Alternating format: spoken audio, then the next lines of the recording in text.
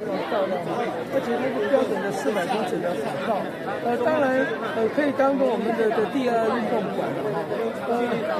呃，我个人看法是这样哈，这个因为这么多人使用，所以我们把它做得更好，我觉得是有必要。而且我们呃很有把握的是，竹南投分未来的学生数绝对是越来越多，所以这个操场的使用率也会很高，所以把它做得比较好，我觉得是好的哈。我们现在如果站在这个竹南国这个兆南国中、兆南国小这里看哈，每一栋教室每一个地方都是新的，所以我感觉到来这边读书的学生是很幸福的。当然，教育是我们最重要的基础。我常常讲，投资教育就是投资未来。我们不但像昨天大溪谷计划大概会有雏形哈，我们当然要培育更多优秀的小朋友。我们也希望我们的小朋友可以从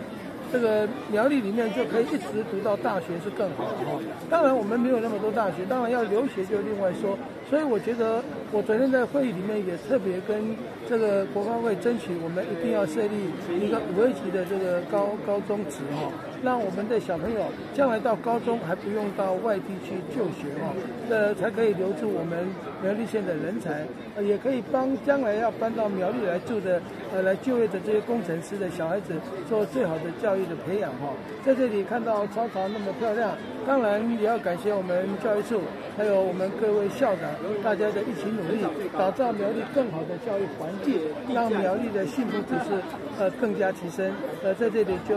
呃祝福大大家，什么他这个按自身。是，刚说。